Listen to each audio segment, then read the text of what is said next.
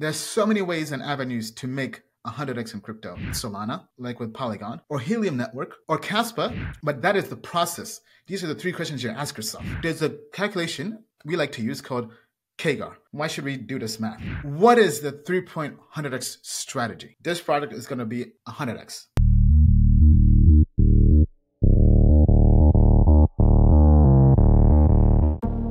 Hey, Token Metrics family. I am back. Boy, oh boy, the last video went viral and we said, you know what, let's double down. Double down on how to make money in crypto, but specifically do a deep dive on how to find the next 100x. This is the most popular question across our community and audience. Almost every single day, every single week, bull market, bear market does not matter. People are saying, Ian, when is the next 100x? And I'm going to give you a deep dive breakdown on how I find the next 100x. And I'll give you my 100x pick, and we'll also give you a discount for Token Metrics. So stay tuned. Let's hop into it. So I'll begin first with going through an introduction on myself, the three point strategy for getting 100x, and three questions you should ask yourself if you're looking to find the 100x and you want to confirm and verify that this token or crypto asset you plan to invest in could be 100x. And then I'll give you my 100x pick. So let's assume you're brand new, your first time is here on the channel.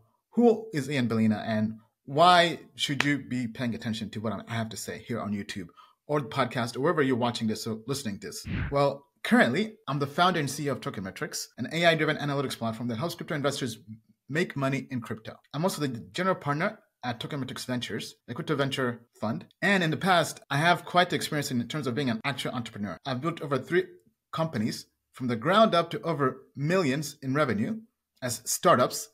I've also raised over $10 million in capital, both with Token Metrics and the fund. And back in 2017, my claim to fame was I turned 20,000 US dollars to over $5 million in less than 12 months using a data driven approach. So, all this I'll be covering comes from experience. And prior to that, I come from a very technical background, was a sales engineer at IBM for four years, part of the IBM Watson team, and was also a consultant at Deloitte Consulting. And my background is as a computer engineer, so I'm very technical. Went to grad school, undergrad as a computer engineer, but I also understand the business world and also crypto. So I'm bringing all those three worlds together to help you codify this into a system and a science with some art on how to find the next 100x investment. All right, enough, enough about me. What is the 3.100x strategy? This is actually a picture of me, back me and our team, Ugo and Diego, back in August 2018 in Hyderabad, India. A friend of ours who was a seed investor in Matic brought them, made the intro. They pitched at a blockchain pitch competition, and the rest is history. Uh, that live stream video was watched by over 6,000 people globally, and Matic ended up doing almost a thousand X return. This is a picture of us with the co-founders of Matic, who are now billionaires. And this is uh, me back in the same month, August 2018. I flew from China, from Shanghai, China. I was in China with KuCoin. Went to San Francisco, met with the Helium team at their offices, uh, this is a video on, on my personal channel back in 2019, but this happened in 2018 and got a chance to see Helium at the ground up and the rest is history. That was over 400x return. To kind of show you that this is real life. This is not something we're just talking about here on YouTube or here in, in, in the studio or office. This is real life. But how do you get these returns? Okay, so let's hop into the 3.100x strategy. But let's first define what is 100x. 100x is 10,000% return on your investment. That's multiplying your investment 100 times over. Or as we like to say, we just landed on the moon in a Lambo. It gives you a moon Lambo. That's, for example, taking $10,000, turning that to $1 million. Or oh, that's turning $1,000 to $100,000. And there are lots of case studies in crypto on how to make 100x, but I want to show the diversity of ways to make 100x in crypto. And I'll be going through the venture side with Solana via launchpads, IDOs or IEOs, like with Polygon, or Helium Network via mining, or Kaspa directly buying on exchanges. There's so many ways and avenues to make 100x in crypto. It's not even funny. And I'll go through the 3.100x strategies. The three questions you should ask yourself, right? The three things that I think matter quality, of the asset, the tokenomics, and the valuation. This was basically the three-point checklist to finding 100x. All right, let's begin with venture capital. This is Solana. Solana delivered over a thousand x returns to early VCs. This is the venture capital example, right? Back in March 2018, via the seed round, they raised over $3 million at 4 cents per token price. They had just version 0.1 of the white paper. Then shortly after, in June 2018, Solana had an additional round. Right before the private testnet, they raised an additional $12 million at 20 cents per token. Then the next year, July 2019, they raised over $5 million for 22 and a half cents per token right before the public testnet launch. And then at the end, February 2020, right before their mainnet launch, at 25 cents per token, they raised an additional 2.4 million. Now, if we break this down from when Solana was on exchanges, the all-time low, according to CoinGecko, was 50 cents. And the all-time high was almost $260. Now, if we go back and look at those prior rounds as a VC, and the seed round, if you're lucky enough to invest in the seed round, you got almost 6,500x on your money. That means you would have turned $10,000 to $64 million. I mean, that's that's a lot of money.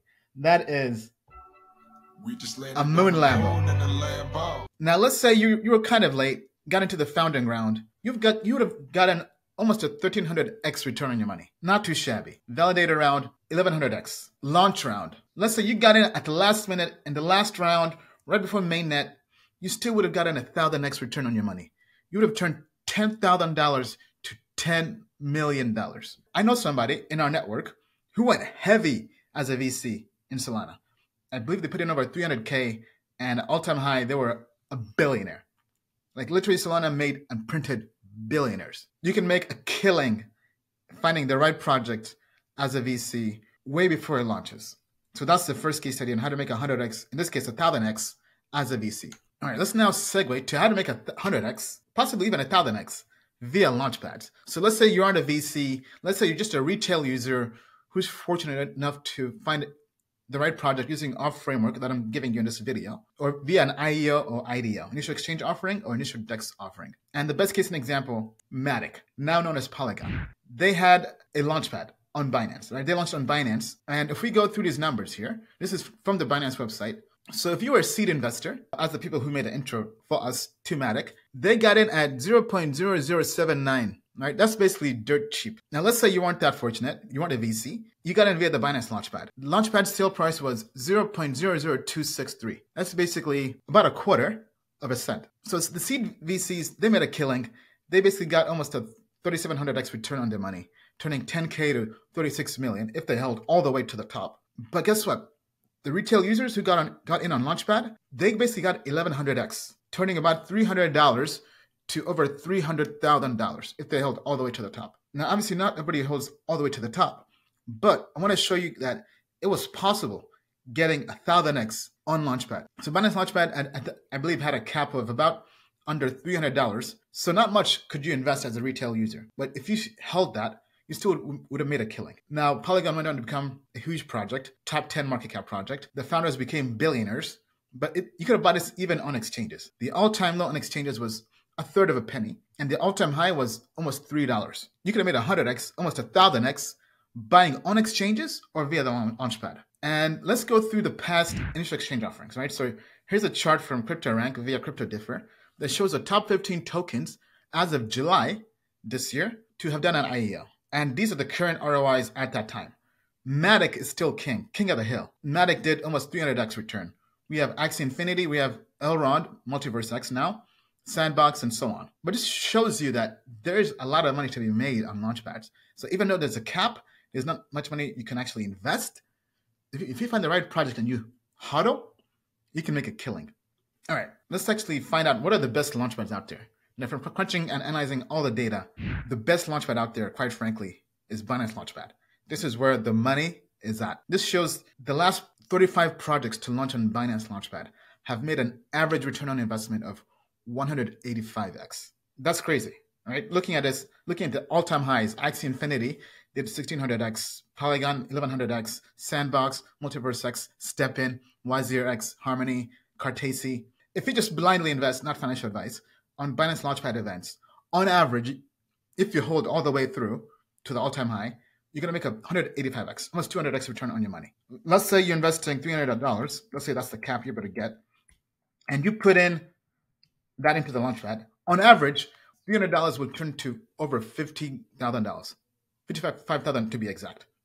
Obviously, not everybody gets all that. Let's say you get just half of that. Let's say you're using Tokenmetrics platform on our bull bearish indicators to help you know when to sell. Let's say you capture half of that.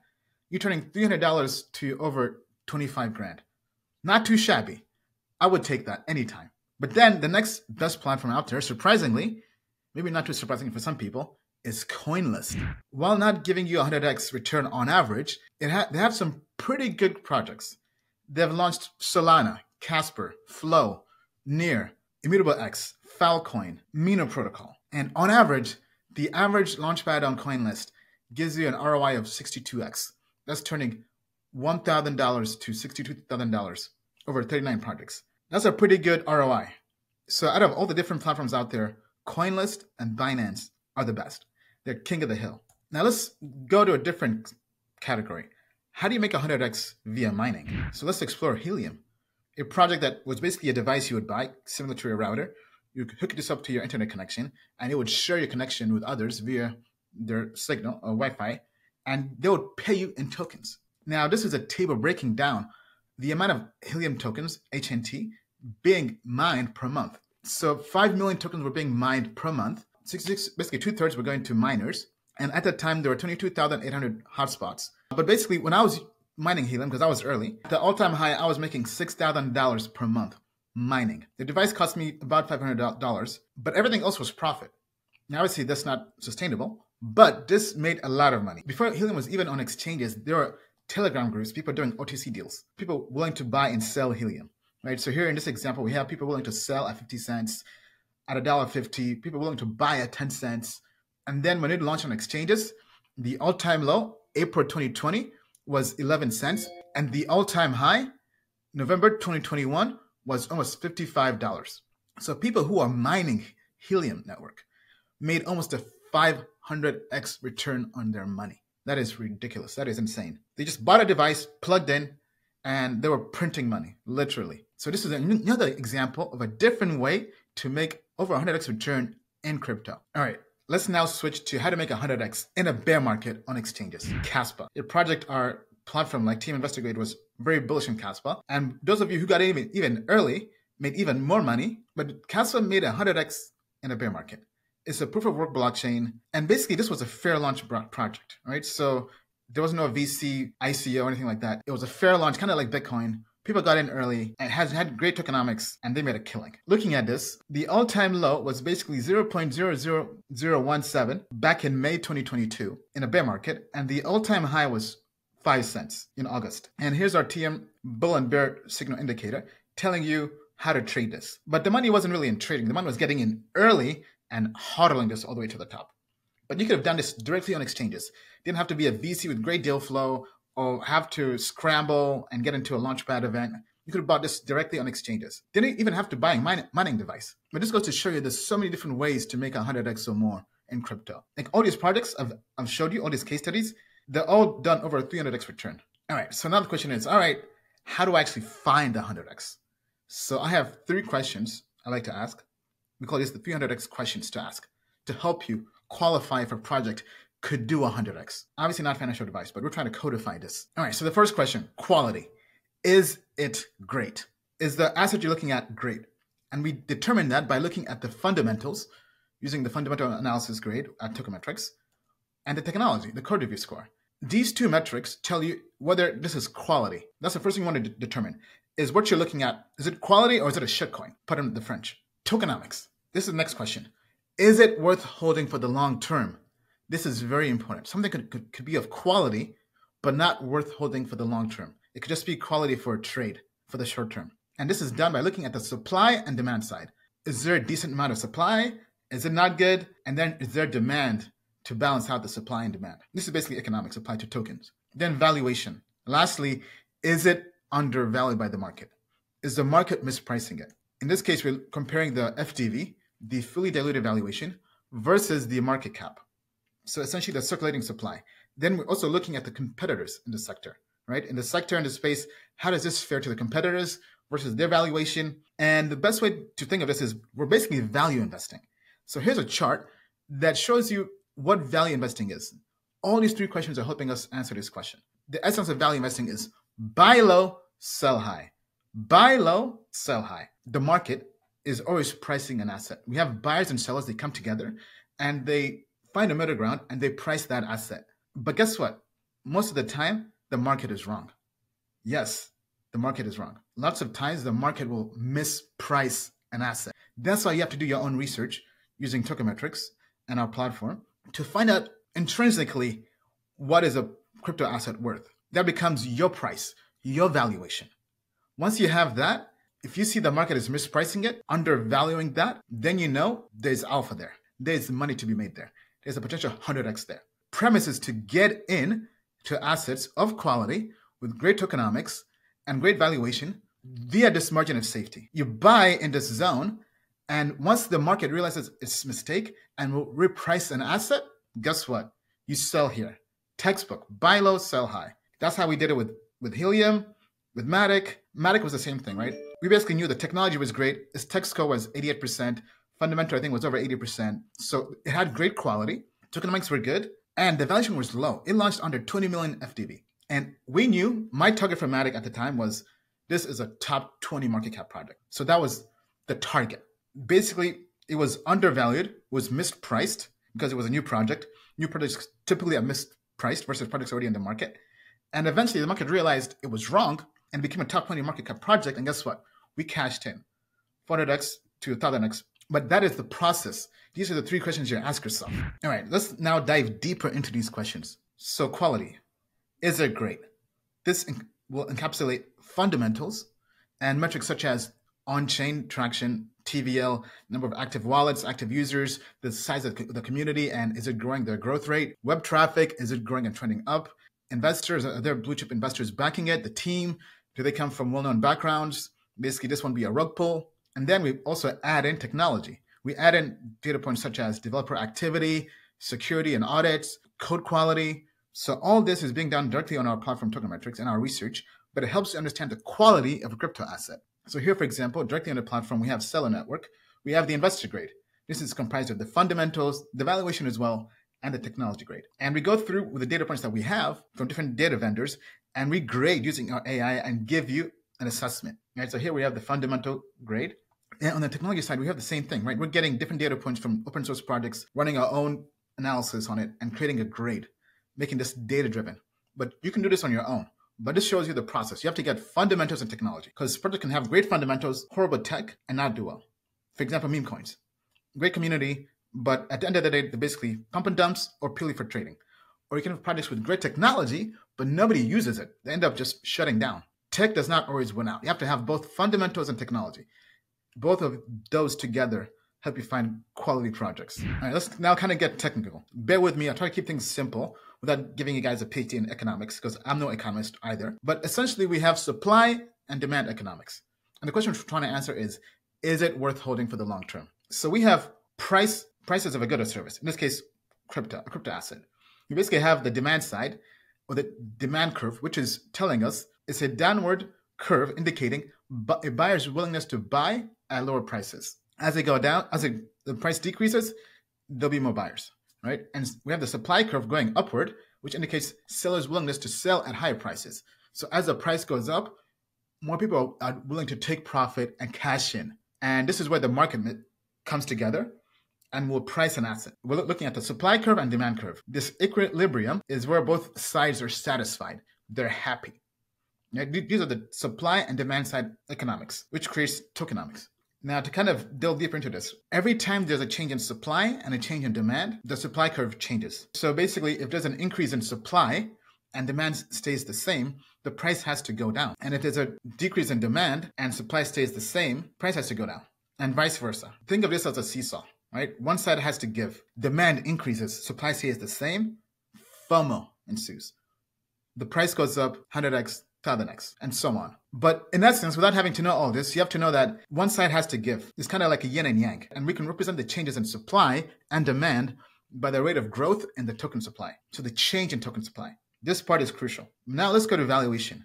The next question is it undervalued by the market? Is the market mispricing this crypto asset? So I like to look at fully diluted valuation, FDV, versus market cap. I know there's a big debate in crypto saying FDV does not matter but I'm going to break it down and show you why it matters. Now, it's not the case 100% of the time, but I'll show you why and when you, you can decipher when to use FDV as a metric and when not to care about FDV as a metric. But let's begin with market cap. Market cap is price times circulating supply, number of tokens in the market, not those tokens that haven't entered the market yet. This gives you the, the market cap. This is what most people like to use for evaluating a project. I think this is not the correct way. Sometimes it matters, sometimes it does not, but I'll show you why. FDV. FDV, fully diluted valuation, is taking the price multiplying by the total supply or the max supply. Sometimes you have both, sometimes you have just one of them, but for the most part, it's the same thing. This will give you the total valuation of the project when all the tokens have entered the market. This gives you a true valuation of the project, in my opinion. Then we have the percentage of circulating supply, which takes the market cap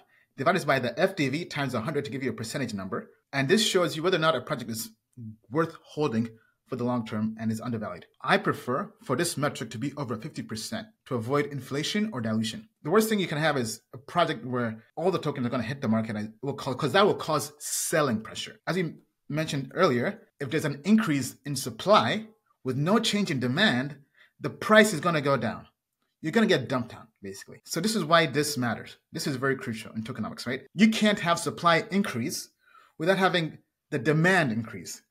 If it stays the same, you're going to take an L. All right, so let's get analytical here, but I'll keep things simple. There's a calculation we like to use called CAGR, compound annual growth rate. And without getting too mathematical here, we're basically taking the ending value, dividing by the beginning value to the power of 1 over the time period, in this case years, minus 1 times 100. But why does this matter? Why should we do this math? Let's go through an example, right? We'll do case 1 where we have 10% circulating supply, and we have the other 90% of the tokens going to enter the market over the course of one year. So it's a one year unlock. Then for case two, we'll have 25% of the tokens currently in the market, currently circulating, and we'll have the rest of the tokens, three quarters, 75%, enter the market or unlock over four years to show you the big difference of why tokenomics matters. And this will help you understand if a project is undervalued or not. Okay, so using CAGR, we take the ending value, 100% of the tokens in the market, circulating supply, 100 divided by 10, the beginning value, over the course of one year. So 1 over 1 is 1 to the power 1 minus 1 times 100. It gives us 900%. What is this number? This is the dilution happening the inflation tax happening of these tokens entering the market. So that means that, now let's say you own 0.01%, does not matter. With these new tokens, this inflation in, in the supply hitting the market, the price of this crypto asset would have to go up 900% for you not to get diluted, for you to still remain owning 0.01% or 1% of the supply. Just think about that. It has to do a 9x in price for you not to get diluted. This is an inflation tax happening right before your eyes. This is why projects with bad tokenomics, also called sometimes VC ponzonomics, because VCs are known for doing this, low float projects with low circulating supply, and they end up dumping on you. This is why they can have great quality, great technology, great fundamentals, and everything, and still not do well because they're dumping on you. The length of the unlock, the length of the vesting matters. So let's go to, to case two. In this example, same thing we have 100 as the ending circulating supply, but we're starting off at 25%. Then to the power of 1 over 4, because it's happening over 4 years, minus 1 times 100. This is a lot more reasonable. This gives us a compounded annual growth rate of 41%. So basically, over 4 years, you're getting 41% dilution, meaning that you have the project has to go up 41% every year for 4 years for you not to get diluted in your ownership percentage. So if you have 1% of the tokens, over four years, the token has to, at a bare minimum, do this. So this is not good. Not the worst competitive case one, but this is why some projects vest their tokens over a while. For example, Bitcoin is mining or minting new Bitcoins until 2050. So in that case, it's spread out over 50 years or whatever. This makes it a lot more reasonable. There's a lot more, there's a lot less dilution or inflation happening to the supply. So there's more upside. But this is very vital. Now, let's say, for instance, this is not an annual project in terms of vesting. Let's say there are months left. This other framework applies the same way. This is called compounded monthly growth rate. The same thing, ending value over beginning value, but in this case, it's to the power one over number of months minus one times 100. But guess what? Let's now apply this to investing. I know I'm getting very technical, but please bear with me. I want to show you the whole entire process beginning to end so you can do this on your own or you can leverage Tokenmetrics to help you with all this. Okay, so we have two projects in the same space, Injective Protocol versus Sei Network. Okay, so Injective. This is directly from our platform, Tokenmetrics. It has basically 700 million FDV. We have 83% of the tokens are liquid, right? 100 million, 100 million total supply, 83 million circulating supply. Injective a new VC project by Multicoin and other VCs, but it's a low float project, VC Ponzonomics. But now let's look at some of the questions we would ask as an investor. According to DeFi Llama, there's six projects or six protocols built actively building on Injective, with a TVL of about 20 million. And we have Sei Network, a newly launched project with five protocols, but only 3 million TVL. So both are DeFi specific L1s, basically competitors, but which is cheaper? So Injective, once again, 83% circulating supply, 600 million market cap, 700 million FDV. Sei Network, 18% circulating supply, 260 million market cap, 1.4 billion FDV. So essentially, Injective Protocol has six times the TVL, half the FDV, and two times the market cap. So which matters, market cap or FDV? What's a better way to assess this? Let's find out. Okay, so here we're getting this token release schedule chart from Binance, because this was the Binance Launchpad event. So was Sei. And we noticed that most of the tokens, 100% of the tokens for Sei, will be in the market in less than six months. That's very interesting. So basically, after six months, there'll be no token dilution or inflation happening. So let's use our formula for CAGR, right? So we have 100% as the ending number, beginning at 83%, happening over six months. So we'll use 1 over 0.5 minus 1 times 100 gives us a compound annual growth rate of 9.76%. So let's now do the same thing over a month, because let's say it's happening over six months. So we do the same thing 100 over 83 1 over 6 minus 1 times 100 gives us a compound monthly growth rate of 3.184%. That means Injective needs to achieve a 9.76 annual growth rate to maintain the price, or, or in this case, the, for you not to get diluted over six months. So over the course of one year or six months, it has to do about a 10% return, right? So let's say the price is $7, has to go to $7.70 for you not to get diluted. Okay, that's not too bad. But after six months, this is why this is a key point. After six months, there is no dilution or inflation happening. 0%. All the tokens that are out there are out there. There's no change in supply. Demand increases, supply is limited. So demand goes up, supply cannot go up, price will go up. Now let's go to Sei Network. Now this one is rather interesting, right? So most of the tokens will be liquid in the market by August 2030. So it's seven years. Now, disclaimer here from Binance uh, the remaining ecosystem reserve, 5.68% tokens, will vest beyond August 2030. So we're actually going to change up the formula a little bit. Rather, rather than using 100, we'll use the ending value, in this case, not counting the reserve tokens, 94.37 over the beginning value, 18% of the supply, over seven years. 1 over 7 minus 1 times 100% gives us a CAGR of 26.7% versus injective 9.76%. That's more than 2x. Now, if we break this down by months, right? So 12 months in a year, seven years, 84 months, put in the same numbers, use 84 as opposed to the years for seven, we're getting 2.67% compounded monthly growth rate. So this is very interesting. Sei Network has a higher compounded annual growth rate, but a lo- lower compounded monthly growth rate. For the CAGR, that means it has to have over 26% return on investment over seven years, every single year for seven years, not to get diluted. And after six months, it still has that dilution, un- unlike Injective. So what this tells us is if you're just looking for the short term, Sei Network actually has less dilution because it's spread out over seven years, higher than Injective. But if you're holding for longer than a year, or longer than six months, basically, right? In this case, longer than a year, it has a lot more dilution, more than 2x the dilution. Long term, Sei Network is probably not it, unless the demand side can keep up with that increase in supply.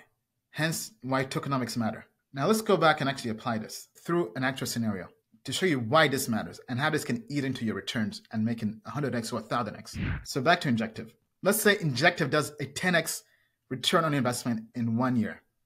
It goes from $7.17 to $7, I'm sorry, to $71.70. So if, if we factor in the dilution or inflation over six months, the actual return you, are getting, or the actual price that is, will end up at is $64.70.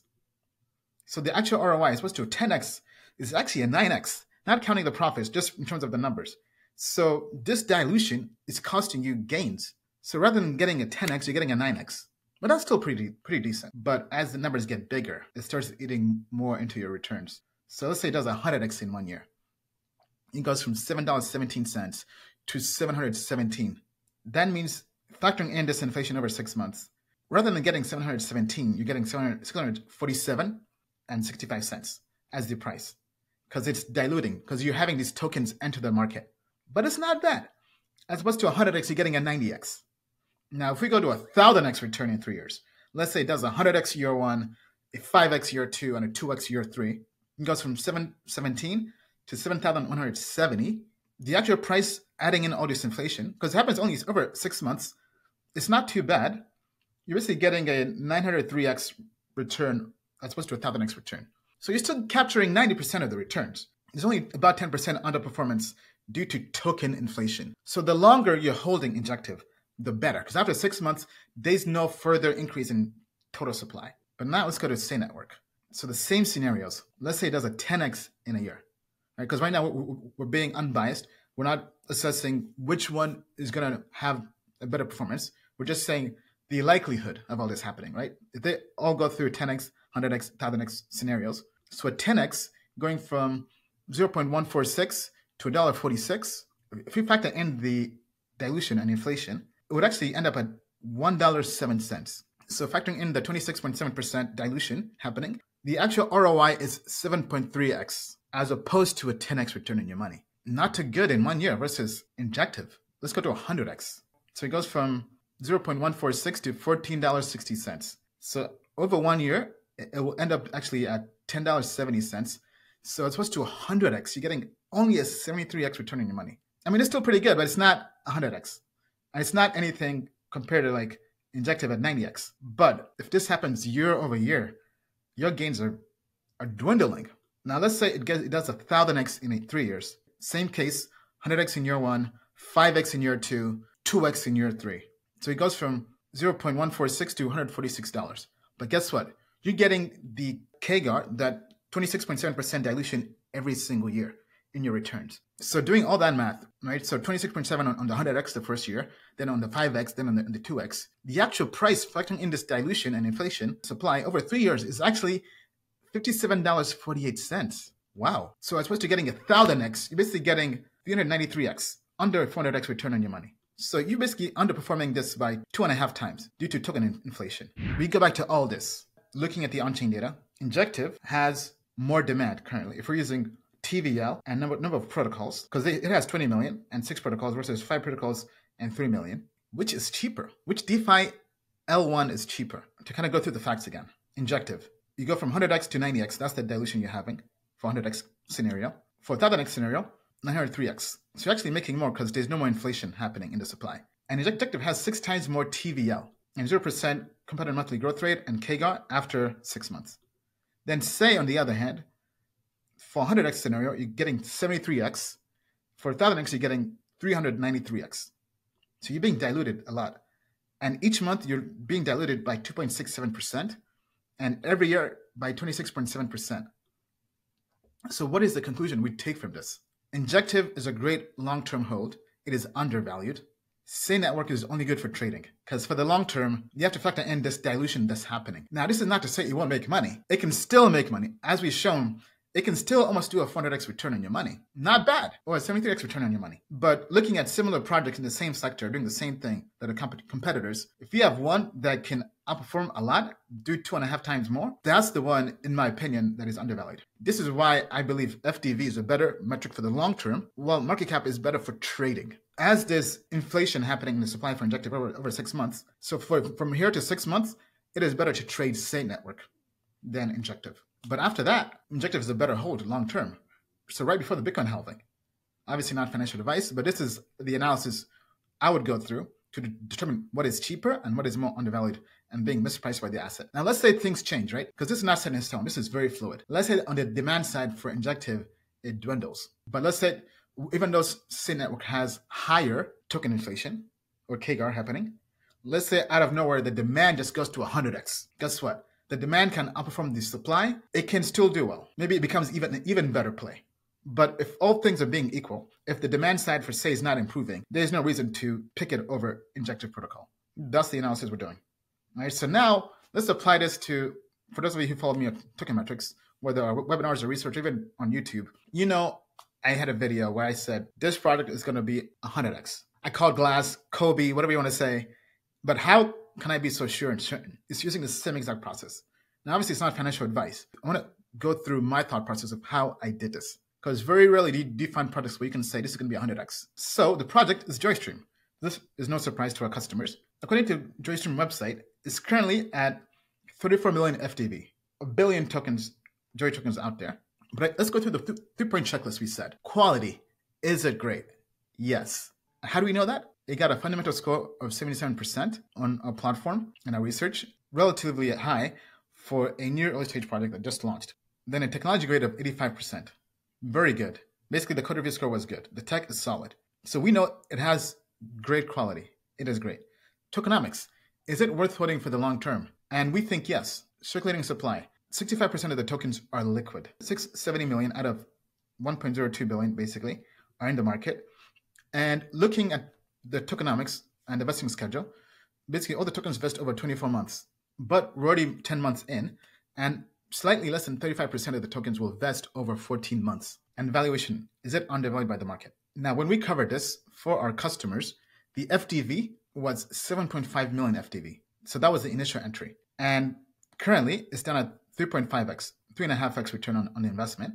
And the target ROI, target where we think it's going to end at the end of the bull run, summer 2025, is 750 million FDV or higher. So from the initial entry, not where it is now, but the initial entry, that's basically a 100x return. So all these numbers are, we're taking from just doing our research, right? So if we go to CoinMarketCap, we can see all these numbers here. And this is from their documentation in terms of when the tokens will be fully vested. So we see here, but 24 months, all the tokens will be released in the market. And then if we compare this to the other competitors in the space, right, doing our sector analysis, we can see if we compare social projects, looking at FDV, let's ignore the first one, Chili. I haven't heard of it. Heard of it. This project has no market cap but Theta Network. This has no inflation. All the tokens are in the market. This is from a while back, last cycle and beyond, but it has over $600 million FDV. Galaxy has 270 million FDV, LimeWire 100 million, Rally 92 million, DeSo has 91 million. So looking at the quality, right, the code review, the fundamentals, of this project Joystream versus its competitors. For example, if we compare this versus the Theta Network, let's say they're about the same. Let's say they both have 85% tech review, 80% fundamentals. Then why is the market pricing Joystream at 34 million versus Theta's 600 million or more? So this is where we see that, okay, Joystream is mispriced. And we can then go through the numbers we mentioned earlier. Let's look at the CAGR, right? If it's going to hit 100% circulating supply from 65% over two years, this gives us a compounded annual growth rate of 24.73% per year. That's the dilution happening every year. For you not to get diluted, that's the tax happening. Not the greatest, but looking at the compounded monthly growth rate over 14 months, we get 1.79%, 1.8%, under 2%. So, but taking all this, looking at the big picture, the quality, tokenomics, and the entry price for the valuation of 7.5 million, in my opinion, not financial advice, I said, this is as good of a deal as you get in crypto. I wouldn't say sure thing, but this is because nothing is sure thing. Crypto, anything can happen. But to find a project of this caliber in terms of quality and with more than half the supply liquid in the market, with an FDV under 10 million, rarely does this happen. And that's why I was bullish on Joystream, and that's why we've been accumulating this. Now, obviously, now it's gone up. It's performed well as expected. The 100x target, if you get it now, is not going to happen. But this is why I think it matters to have great research early on. And if you're not a customer of Token Metrics, I would encourage you to join. We have free accounts to get research like this early on, but all this can be done on your own as well. Okay, all right. So let's now kind of wrap things up, right? I've gone through the 3.100x strategy, the 300x questions to ask, and how I'm finding the next 100x. Uh, but now you can go out there and try this yourself. Right? You can do your own research, or you can go to Token Metrics and check this out. Or if you want to learn more, you can even get our book. I do have a book called Crypto Investing Guide available on Amazon. It's a bestseller, also available as an audiobook on Audible. And we also have it free on our website as an ebook because our goal is not to make money, it's to teach you the entire thought process we have with our research team, our analytics, our AI. And let's say you don't even want to do all that. You want to say, hey, just give me the alpha. Guess what? Go to tokenmetrics.com, create a free account, and get all this research to help you find the next Joystream or the next 100x. And we also have Token Metrics GPT, similar to ChatGPT, a chatbot, an AI chatbot you can talk to that will help you in your investment research and analysis in crypto. You just ask it what's the next 100x or ask it information. Uh, currently, it has tokenomics data, and we're in the process of the new version coming out soon. They'll give you access to external data, to white papers, social media, news articles, and really giving you all the analysis you need. So it's, it's like having me next to you as you're researching crypto, trying to find the next 100x or the next 1000x for a limited time only we have a coupon code that will give you 25% off of Token Metrics. So basically, go to our website, tokenmetrics.com. When you check out for the paid accounts, use the coupon code TokenmetricsGPT to get 25% off and lock that in today. Lock in that alpha, and hopefully, all this research on our platform helps you find the next 100x uh, before the end of the bull run. And as we like to say, We just landed on the moon in a Lambo. go out there, find the next 100x, and come back and let us know which 100x you found and how you found it. Thank you. See you next week. Thank you for watching this video. If you enjoyed it, we have even more content for you at Token Metrics. Get there using the link down below.